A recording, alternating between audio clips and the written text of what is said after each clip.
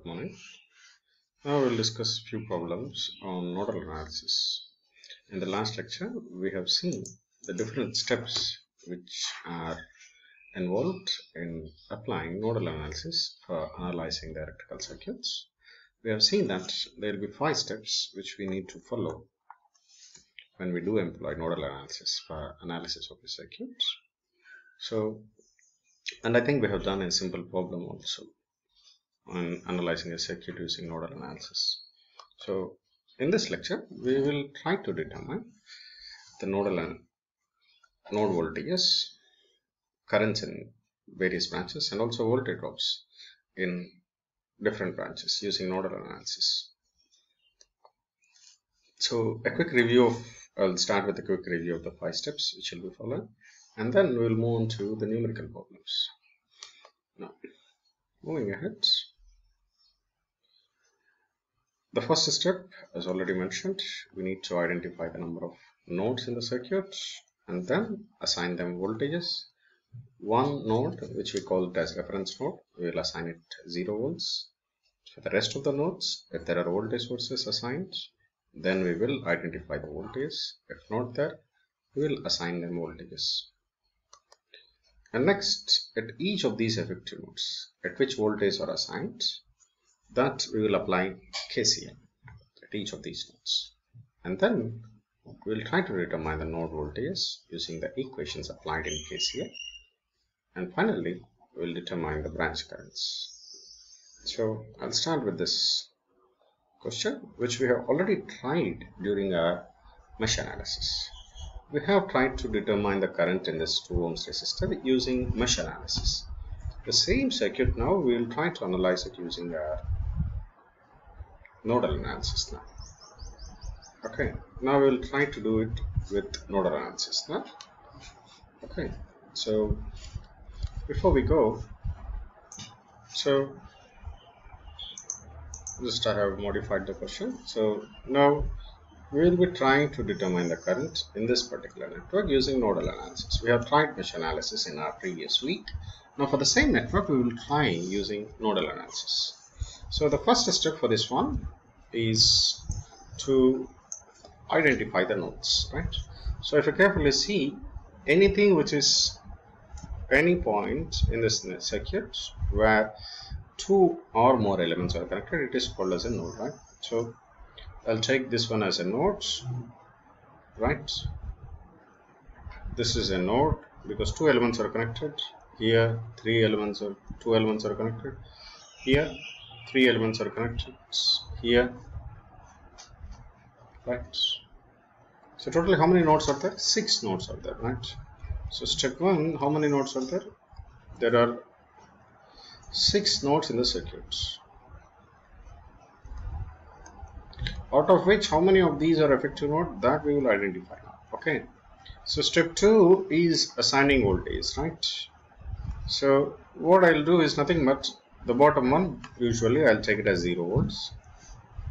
Okay. And if you see, if it is zero, then the third one will be at a potential of 10 volts. Point two will be at a potential of 20 volts isn't it so now out of these six nodes now if you carefully see these have been assigned some potentials 20 10 and 0 now we need to identify sorry we need to determine potentials at these nodes only so these are considered as effective nodes. To repeat it again see the reference one i have taken this one as 0 volts. And if you consider see there is a voltage source here. So 10 volts. So if it is 0 then this is at 10 volts. Similarly since it is at 0 now this will be at 20 volts. Now I am just redrawing the circuit now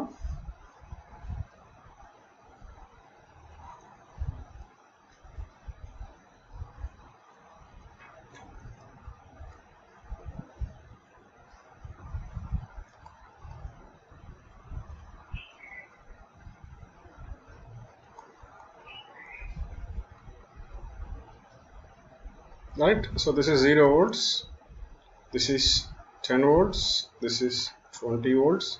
So now the remaining things now I'll assign them 1 2 3 now because 4 by 6 looks odd for me. So I'm just this is 1 this is 2 and this is 3 right so now three effective nodes are there. So those will be assigned voltages. This is v1 this is v2 and this is v3 now understood how to apply the steps. V1 v2 and v3 now a quick review now. Now see here.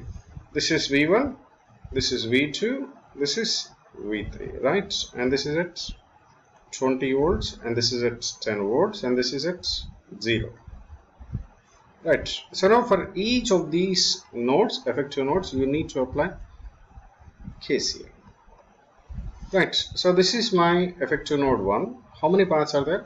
1 2 and 3 paths are there right? So I have 1 2 and 3 paths which is equal to 0 right? So what is the current in this one? See this is the first path. So what is the voltage of see from here what is the nearest node in this path? The nearest node is this one and its potential is 3 so what is the voltage drop here? V1 minus v3 by in that path what is the resistance? 4 now from here what is the nearest node? This is the nearest node. V1 minus 20 by 4 from here what is the nearest node in this path? It is the nearest node. So it is v1 minus v2 by 3 so I will repeat it here. Start node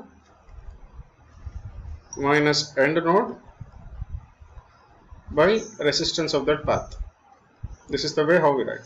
See I repeat it once again. V1 this is first path. So what is the first node which you encounter? V3 so v1 minus v3 by 4 here it is v1 minus v2 by 3 here it is v1 minus 20 by 4 right. If what is LCM for this one? It is 12 so I'll get 3v1 minus 3v3 plus 3v1 minus 60 plus 4v1 minus 4v2 is equal to 0 so what is the LCM LCM will go here it will become 0 so 3 3 so it is 10v1 minus 4v2 minus 3v3 is equal to 60 this is my equation number 1 similarly for equation number 2 so this is my second node right? V2 and this is my v1 and this is my v3 how many paths are there? 1 2 and 3 see here it was an effective node 10 right?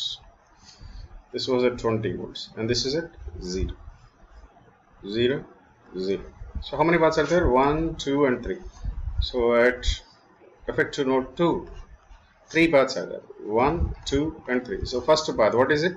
V2 i'm starting from here. What is the nearest node? This is v1 voltage. V2 minus v1 by 3 plus second path v2 minus effective voltage is 10 plus see this path v2 minus v3 by 3 we solve it. LCM is 6 right it is 2v2 minus 2v1 plus 3v2 minus 30 plus 2v2 minus 2v3 is equal to 0 LCM will go here. See what is the equation here? 2 plus 3 7 so 2v1 minus 7v2 plus 2v3 is equal to minus 30 this is equation number 2 similarly for node number 3 at node number 3 this is node 3 this is at 10 this is at 20 this is at 0 at node 3 three paths this is the first path v3 minus v1 I'll start at v3 and I'll end at v1 by 4 second path it is v3 minus v2 by 3 and the third path it is v3 minus this is 0 voltage by 2 is equal to 0 now you take LCM this is 12 right so I'll get 3v3 minus 3v1 plus 4v3 minus 4v2 plus 6v3 is equal to 0 you solve it you will get equation number 3 now I do have three equations right? Equation number 1 equation number 2 and equation number 3 see I have uh, yeah. See I have clearly mentioned it for you. For those who do have confusion you can go through these slides.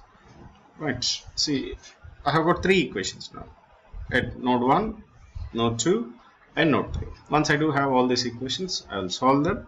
See this is my V1 V2 and V3 so this is V1 voltage this is V2 voltage and this is V3 voltage. And this is 10 this is 20 and this is 0 right? So what he's asking this is step number 4 it is done.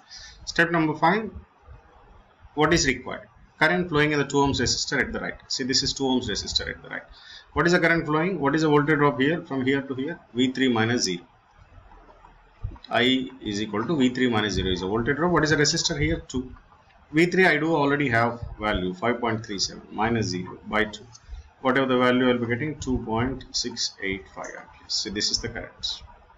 You check back in the problem which we have done in model uh, mesh analysis. You will be getting the same answer okay? So you can apply either of these methods for solving a circuit. It's up to you whichever you feel it's easier for you you can apply it. But in the examination I will mention it which method you are supposed to apply. So you should come prepare two methods for the examination okay? So that's it from my side. Uh, I hope that now you are able to apply nodal analysis for solving the circuits. And now this is your problem. This you have already done with mesh analysis. Now you need to repeat it with nodal analysis okay? And you are supposed to identify the currents in 5 ohms resistor okay? So that's it from my side thank you. In the next class we will do some more problems on nodal analysis. Bye